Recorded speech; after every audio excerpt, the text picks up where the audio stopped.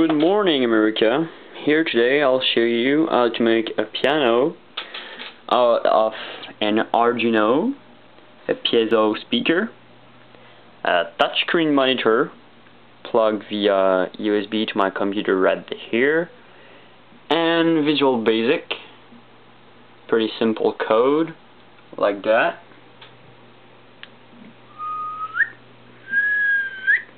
and goes on for each note.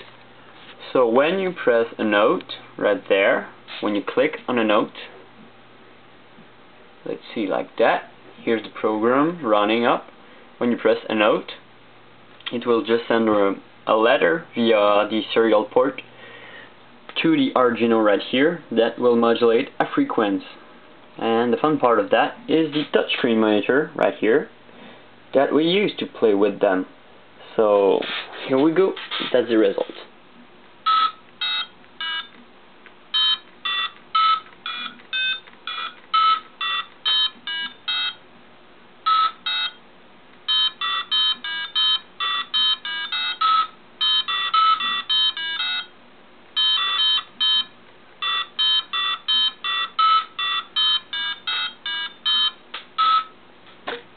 So that's about it.